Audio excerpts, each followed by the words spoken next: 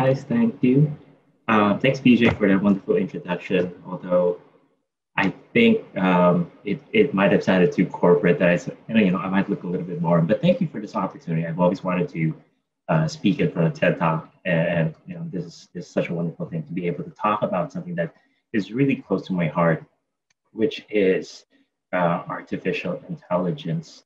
So I'm going to go ahead and just give you know um, a brief introduction into artificial intelligence. But what's more important is that we will um, try to talk about um, if there's an ethical use of artificial intelligence.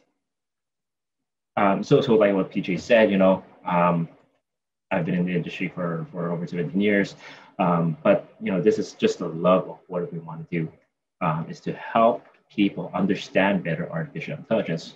And, and the reason for this is because we've seen a lot of it, AI, being represented in media, telecommunications, but most importantly, in television, where people may have may try to get their sense of what AI is. So, just to demystify artificial intelligence first and foremost, right? Um, at the end of my presentation or my talk, you know, I just want us to be able to answer, can AI be used ethically? Okay, and for, in order to understand that, we need to go and understand what AI is first, right? So let's start with understanding what ethics is. Ethics is just referring to the organizational structure. It also has to determine what is right and wrong. And everybody has that uh, moral compass that it can use to say, you know, what I'm doing is right by helping people, or what I'm doing is wrong by hurting other people. Okay. Um, now, if we're talking about artificial intelligence, there are four major categories of artificial intelligence, right? So there's going to be machine learning, deep learning, NLP or natural language processing, and computer vision. So just to educate uh, and, and, let you guys know a little bit more about this, uh, machine learning is the ability of statistical models to develop the capabilities to uh, improve their performance over time without the need to follow pre-programmed instructions. Most of the time, computers can only follow code. If you tell them to do, if they go left, they only go left. If you tell them to go right, they only go right. If you introduce artificial intelligence and the concept of machine learning, they'll be able to decide on their own what the best way moving forward is. The next is deep learning, which is just a another uh, a level up from machine learning. Um, and this one, uh, deep learning can be used to recognize image and speech and involve neural networks with many layers of abstract variables. So it can actually make complex decisions. And the natural language processing, this is um, a little bit more popular nowadays if you use Siri or Alexa or uh, Google, uh, the, Google Assistant. These are NLPs. Uh, these are technology that powers voice-based interfaces or virtual assistants or chatbots.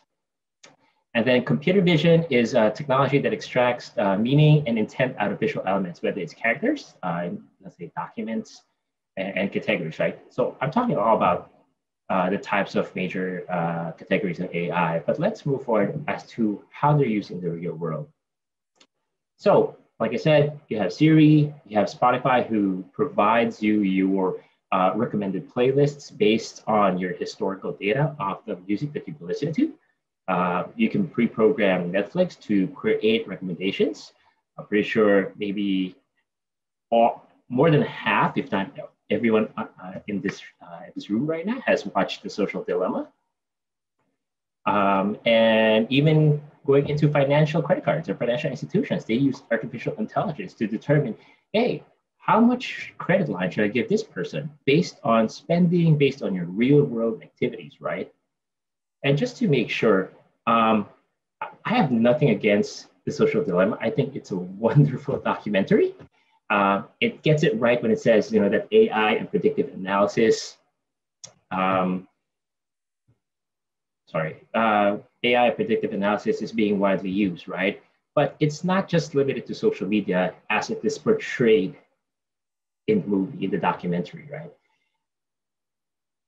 AI predictive analysis is used everywhere. Okay.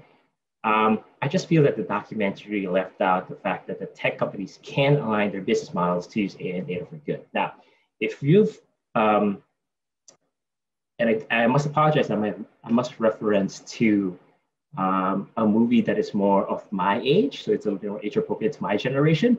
But you want to understand and you want to apply ethics in AI because you don't want to involve, you don't want to end up like this guy. Okay, so for, for everybody in the audience, I'm not sure if you know if, if you recognize this person, but if you can recognize him, is it okay if I ask you to just give me a quick check? Uh, just type it in really quickly in the in the chat box.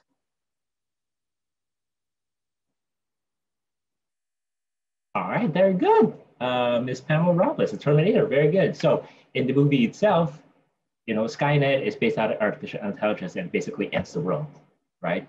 And we'd love to be able to use artificial intelligence in, in a better way and not in a world-ending scenario, right? So where do we need to begin or where can it be used, right? Or why is it important for us to be able to involve ethics in AI? There's, there's four major areas where um, AI is used right now. Number one, data security and technology. Number two, risk management and compliance. Number three, people, you know, people skills and organization models and just training.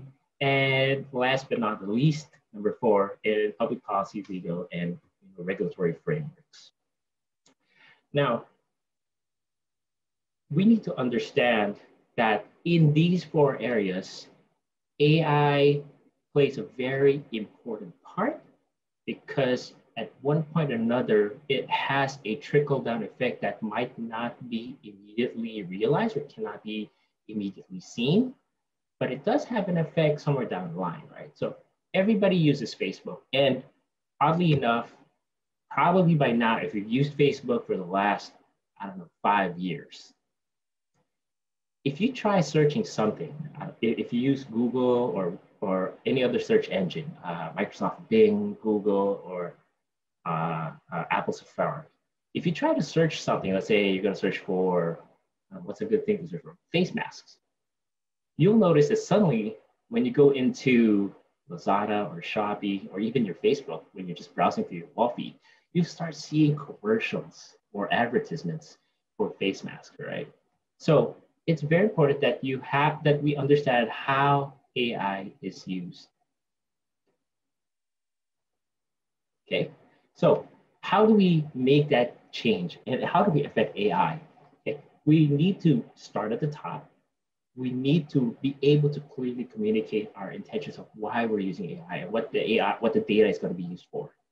Okay, referencing back to the social dilemma, you've seen that they use the reference, they use the data points of each of the uh, protagonists to be able to determine, okay, how do we get him to elicit a response from him?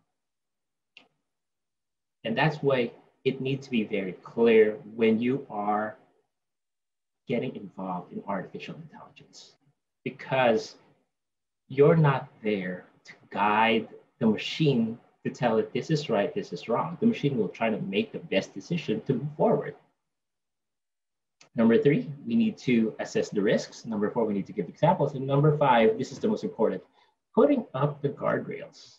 Now, when we say putting up the guardrails, this is where organizations, you know, they should be able to proactively establish uh, the guardrails or those rules to guide, monitor, and assess how AI is used by their organization, their employees, their vendors, and their potential customers.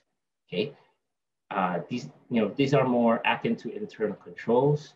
Um, let's say, for example, an example of a guardrail is a, is a framework uh, that allows uh, an AI solution that prevents specific uh, actions from being completed. So let's say, for example, um, driverless cars in the United States, they have uh, a code, they, their AI tells them that if they're about to hit somebody, that they need to stop before they actually hit that object, whether it's another car or whether it's another person.